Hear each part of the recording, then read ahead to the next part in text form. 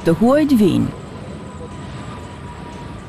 Ndërsa shqiptarët ikin. Ky kontrast ka ndodhur këtë sezon veror në vendin tonë. Duke iu referuar të dhënave të publikuara së fundmi të Instat, Numri i shtetasve të huaj të hyrë në vendin tonë në shtatëmujorin e vitit dy mijë e shtatëmbëdhjetë është rreth pesë milionë e dyqind mijë, duke u rritur me pesë pikë gjashtë për qind në krahasim me të njëjtën periudhë të vitit dy mijë e gjashtëmbëdhjetë. Vetëm për periudhën janar-korrik, shtetasit e huaj që kanë hyrë për qëllime pushimi janë rreth një milion, tridhjetë e pesë për qind më shumë se korrikun e kaluar.